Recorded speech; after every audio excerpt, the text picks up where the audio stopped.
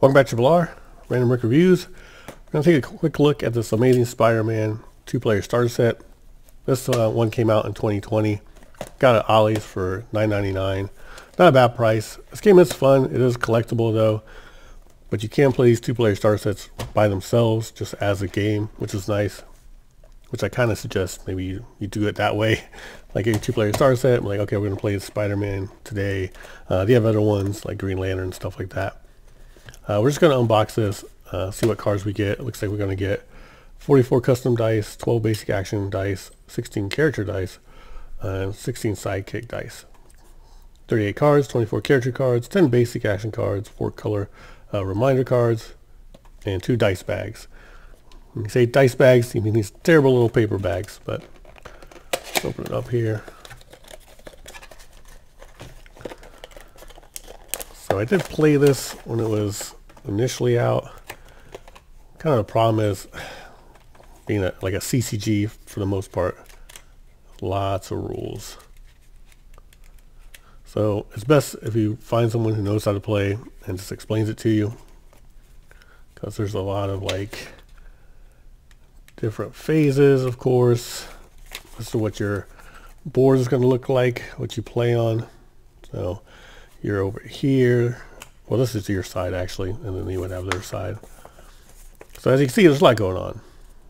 Your dice are going to go in a bag. You roll the dice. You put them in a reserve pool. You recruit them into a field zone, and then you have to attack. If you get KO'd, you go to a KO pile. Then stuff in your prep area goes into your reserve pool, and you put back, dice back in your bag. It's a lot. It's a kind of a lot. But once you, I guess, are taught with someone who knows how to play, it goes okay.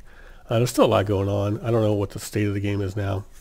To me, I had an issue with this thing called Global, where like on printed cards, everyone could use the ability, and it just got, just like any other kind of trading card game, there's going to be a, a meta issue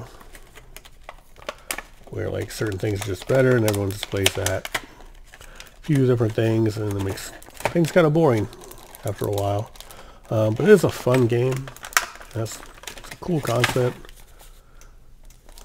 Yeah, so these dice bags are just little paper bags. Kind of cool. They used to just be like, uh, I think a green and a blue bag. So they put some art on here. Looks like you have different art. Yeah, Spider-Man back here. Huh. All right. What we got over here? Nice. So you got some different art on these bags. So that's kind of cool.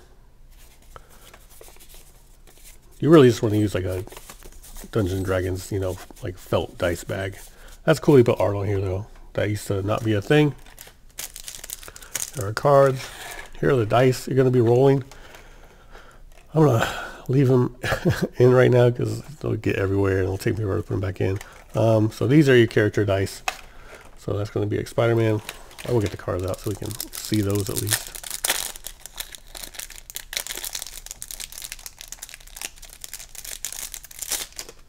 Uh, these are just like your reminders of your basic actions. They're going to be like in the middle of the table where anyone can buy basic actions. You bring two, and I believe your opponent brings two, and you set them like on top of these, and then anyone can buy from that card pool.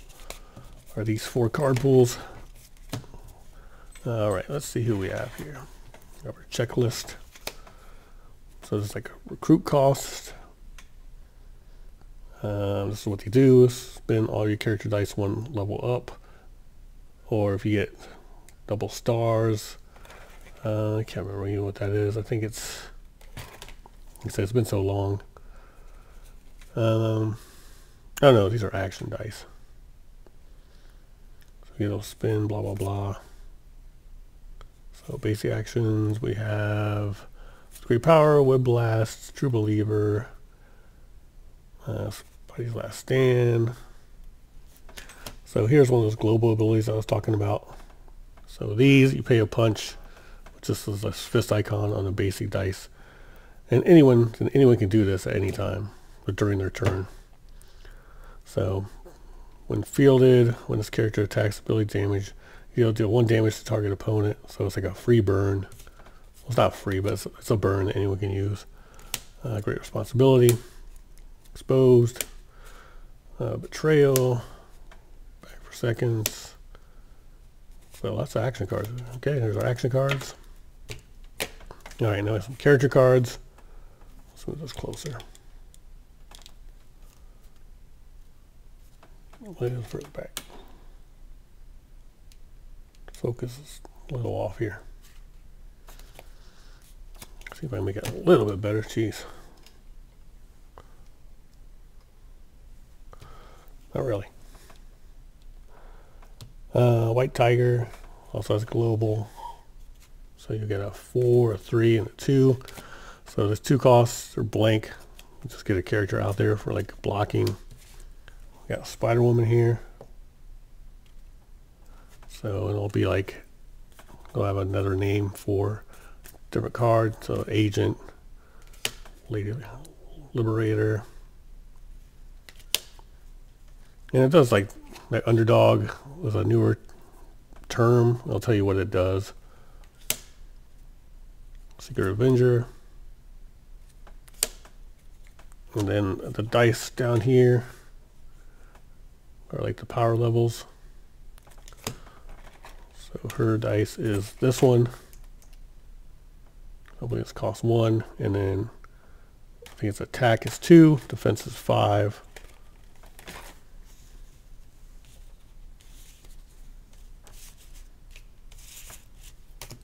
Spider-Man himself, unmasked. Not a fan of that art really at all. So we got a couple of these. He has a global, another global, silver, silver sable. I do like silver sable. All right. I have no idea if these cards are good or bad. I'm sure usually in every set there's some good cards that people put into play. But again, this is 2020, so they're probably you know, cycled out. Kingpin, Ghost Rider, got Drax, oddly enough.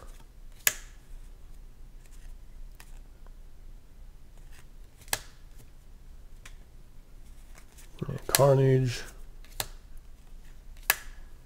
Hmm, no Venom. Well, Carnage, Drax, Ghost Rider, Kingpin, Silver Sable, Spider-Man, Spider-Woman, and White Tiger.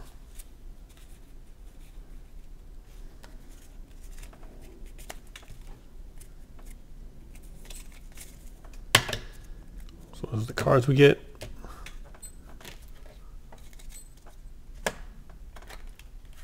So these are your character dice. So like I said, that's Spider-Woman, as you can see here.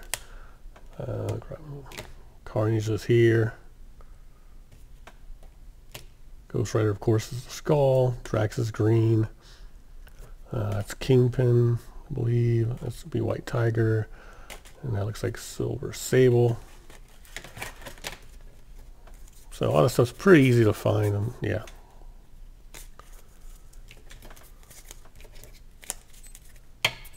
So if you do want to play it, I think 10 bucks is a decent entry price.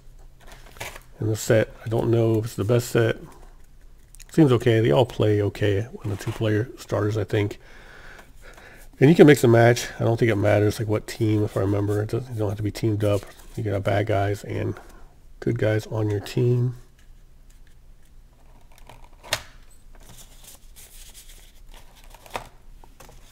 So if you looked into getting into Dice Masters, I would I would say definitely grab one of the cheaper ones. Um, I think Ollie's has a a sale going on right now, and 10 bucks isn't the worst price. So listed at 15. Uh, I think I usually see the Green Lantern one also pretty cheap, or actually it might be not the Green Lantern. I think I'm Age of Ultron. It's also a cheaper one you can get into. It's a fun game. I wouldn't mind playing it again. I know there's a Discord and stuff, but I don't I don't like playing over webcam that much, if at all. But some cool cards, nice art. So if you want to check it out, go grab one from Ollie's. Uh, Amazon probably has Age of Ultron pretty cheap as well. Uh, these, there were a lot of them. if you have Ollie's near you, so they may get discounted eventually because there were a lot of them from what I could tell, like a, at least like a box full. All right, thanks for watching Triple R. Have a good day or night wherever you are. Please remember to like, comment, subscribe. Thank you.